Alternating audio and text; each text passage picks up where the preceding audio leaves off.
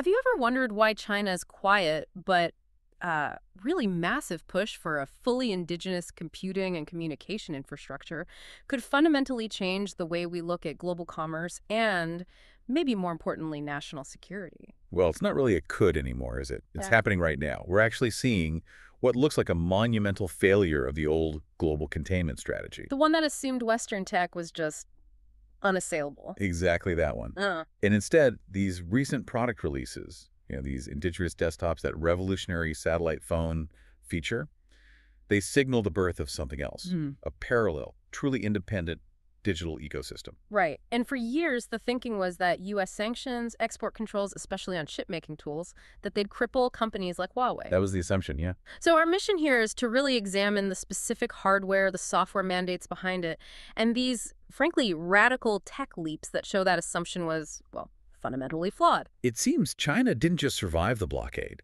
They actually used that pressure, didn't they, to achieve this technological sovereignty. It's a fascinating case of forced self-sufficiency. It really is. Let's maybe start with what some are calling the desktop shock. This happened back in November 2025, the quiet release of the Qingyun W515Y and W585Y desktop computers. Okay, I remember seeing bits about that, but it barely made a ripple in Western news. Exactly. But these aren't prototypes. They're production-ready machines rolling out right now to government agencies, big state-owned enterprises across China. So it's like a functional declaration of independence, technologically speaking. Pretty much. And the key part isn't the plastic case, obviously. It's what's inside. They're powered by Huawei's own Kirin 9000X processor. Kirin 9000X, what are the specs like? It's an 8-core, 12-thread chip running at about 2.5 gigahertz. Now look, these specs might not blow away the absolute latest high-end gaming chip from Intel or AMD, Right. but that's not really the point, is it? That comparison misses the mark. So what makes this chip so significant then? If it's not just raw speed, what's revolutionary? The revolution is its independence. That's the thing. This chip was produced entirely within China, without relying on the foreign fabrication tech or the design tools that Washington controls. Oh, okay. And for what it needs to do running government databases, secure comms, basic office stuff, it's more than powerful enough. Plus, it gives them full security oversight. And crucially, it runs on operating systems that are also completely China developed. Right, either Tongxin UOS V20 or the Galaxy Kirin Kos V10. You know, for decades, the West held enormous influence, partly because what?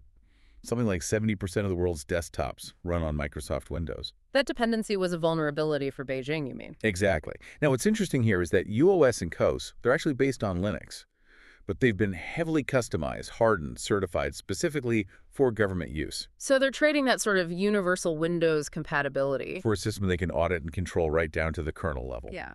Security over convenience, essentially. Which really underscores the uh, the failure of the sanctions, doesn't it? The whole point was to stop China from making functional modern computing systems. And the unintended result.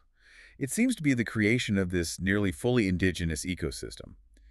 Demonstrably requires zero American components. I saw a figure on the previous model, the L420X.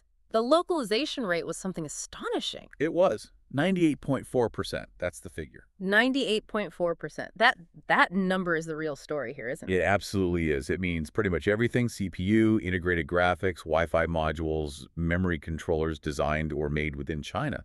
That's a massive and frankly often overlooked industrial achievement. And you can even tell who the customer is just by looking at the design choices, right? They're not really aiming for you and me, the- average consumer. Not at all. It's clearly aimed at massive institutional buyers, government, large enterprises. That detail about the ports was quite revealing, I thought. You've got modern HDMI, sure, but right next to it, a VGA port. Yeah, VGA, technology most consumer PCs dropped years ago. Why include that? It's a nod to the methy reality of big institutions. You know, government offices, big companies, they still have tons of older monitors, projectors, security systems that rely on VGA. Ah, Okay. yeah. So by including it, Huawei is basically saying, look, we get it. We support your existing complex setup while giving you a modern, secure, totally domestic platform. But there has to be a trade-off, right? Does this intense focus on localization, on domestic standards? Yeah. Does it hurt performance significantly or compatibility with the wider internet? That's the immediate question a Western user would ask. And that is the core trade-off. Yeah. Absolutely. They are prioritizing sovereignty and security over maybe having the absolute bleeding edge speed or perfect compatibility with every single Western software package. Because dependency equals vulnerability. Precisely. And when Washington clearly uses technology access as a major tool of statecraft, well, running your critical national infrastructure on American-controlled platforms becomes just too risky for Beijing. And this huge shift, it's not happening by accident. It's driven by a pretty big government mandate. A massive one, yes. Okay, let's unpack that. We're talking about the Xinchuang program, right? Or Xinchuang. Yes, Xinchuang Xinchuang. It's the official strategic initiative. And it mandates, it requires all critical government and enterprise IT infrastructure to transition to domestic hardware and software. And there's a deadline? There is. 2027. It's not a suggestion. It's a hard deadline. Wow. And the market impact of that mandate. It's been immediate and pretty brutal for some big Western tech players. Devastating is probably the right word. Beijing is effectively slamming the door shut on foreign processors and government systems. Which directly hits companies like Intel. Huge impact on Intel. Historically, they got something like, what, 27% of their global revenue directly from China, billions in steady income. That stream is drying up fast. And AMD too, presumably. Them too. They're losing these massive revenue streams that they rely on you know, to fund their future R&D. Right, when they need it most, with competition heating up in areas like AI. Exactly. It creates this kind of dangerous feedback loop for them, while simultaneously fueling domestic investment inside China. Now, what's really fascinating, technically speaking, is how Chinese companies managed this production capacity when they were cut off from ASML, you know, the Dutch company with these super advanced EUV machines for chip making. That was supposed to be the ultimate choke point, wasn't it? Everyone thought so. Yet Chinese firms, particularly SMIC Semiconductor Manufacturing International Corporation, they somehow developed methods to get to 7-nanometer equivalent tech using older DUV, deep ultraviolet machines. Which was thought impossible, uh -huh. or at least prohibitively expensive. Pretty much, yeah. It was previously thought you just couldn't get there efficiently with DUV. So how did they pull that off? How did they bypass needing those specialized ASML machines? Well, it seems like sheer scientific determination, frankly. An incredible investment in something called multi-patterning techniques. Multi-patterning. Yeah.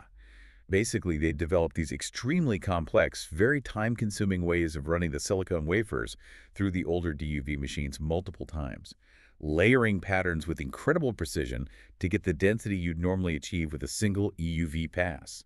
Wow. So a technological workaround born entirely out of necessity. Driven entirely by the need for independence, yes. So what this really means then is that the world is, right now, actively splitting into two distinct tech ecosystems. It certainly looks that way. You've got the American-led system, Windows, Intel, NVIDIA standards on one side, and then this emerging Chinese alternative. Huawei, Tongxin UOS, SMIC for chips. It's not just a market adjustment. This feels like a profound systemic realignment. We're seeing the birth of a genuinely bipolar technological world. And for those Western multinationals. It gets complicated maintaining separate product lines, compliant supply chains for two non-interoperable markets. Mm -hmm. That's going to drastically increase costs, fragment R&D budgets, potentially slow down global innovation overall. And while we're talking about the split, we can't ignore China's own leverage point, can we? The rare earths. Ah, yes, the strategic counter leverage. That's Beijing's ace in the hole, physically speaking. Mm. They control something like 85% of the global processing capacity for these critical minerals. Materials essential for everything digital, basically. Everything. Advanced chips, smartphones, EV batteries, even specialized defense systems. If Beijing decides to restrict exports, they can put immense pressure on the very Western manufacturers they're now cutting off from their domestic market. It's a powerful card to hold. Okay, but here's where, for me, it gets really interesting. Moving from computing to communications. November 2024, Huawei unveils the Mate 70 smartphone. Astonishing, yes. Yeah. A regular smartphone that can message satellites directly from your pocket. No special antenna, no bulky add-on. No special equipment needed at all, just the phone itself. This is a genuine leapfrog moment. How did they manage that? Well, they achieved it by using China's Tiantong satellite network. It's a major wow. constellation, mixes LEO and MEO satellites originally built mostly for military and government use. But now opened up for civilian applications. Exactly. They're leveraging that existing infrastructure. But the tech inside the phone must be incredible. Miniaturizing all that? Absolutely. Huawei engineers had to develop, reportedly, a revolutionary super-efficient power amplifier chip. and a completely new, very sophisticated antenna system. Think about it. It has to track satellites whipping across the sky at 27,000 kilometers per hour. That's mind-boggling. And the performance. Is it usable? Reports say it's robust. An ultra-low delay, just 0.7 seconds for messaging. Now, think about the practical implications. It changes everything for remote areas, right? Fundamentally, vast areas of rural Africa, huge stretches of the ocean for shipping, remote places like Alaska, Yeah. areas where it's just too expensive to lay fiber or put up cell towers. This tech makes traditional infrastructure potentially obsolete there. And we've already seen it used in real-world situations. We have disaster response, for example.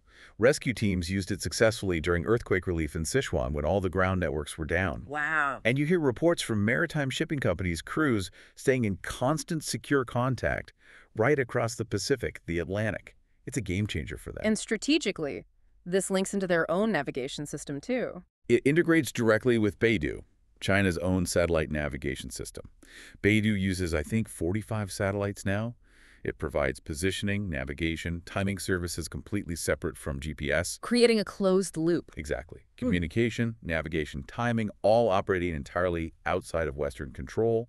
That offers unparalleled security and resilience for its users. And that independence must be appealing geopolitically. Hugely appealing.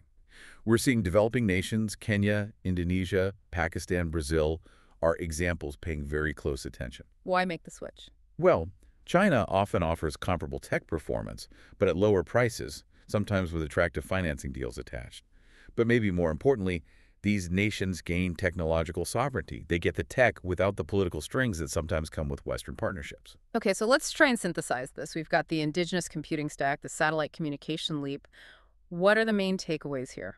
I think there are two undeniable ones. First, technological sovereignty for China isn't theoretical anymore. It's a functional, demonstrable reality. They Mhm. can build and run their own digital world. And second, Second, China hasn't just caught up in some areas. They've actually leapfrogged Western capabilities in critical infrastructure, like this direct-to-satellite communication. It shatters that long-held belief in perpetual Western tech superiority.